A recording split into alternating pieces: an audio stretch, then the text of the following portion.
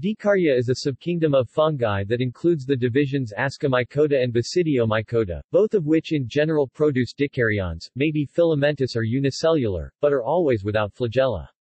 The Dikarya are most of the so-called higher fungi, but also include many anamorphic species that would have been classified as molds in historical literature. Phylogenetically the two divisions regularly group together. In a 1998 publication, Thomas Cavalier Smith referred to this group as the Neomycota.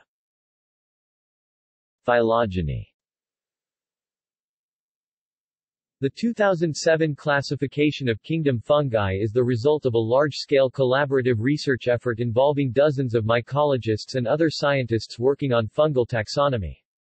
It recognizes seven divisions within the fungi, two of which, the Ascomycota and the Basidiomycota, are contained within a branch representing subkingdom Dikarya.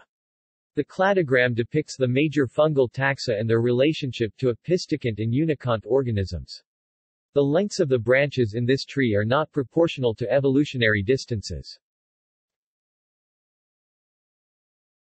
See also List of fungal orders References.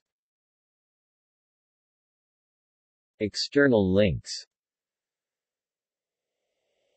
AFTOL classification at Dave Hibbett's site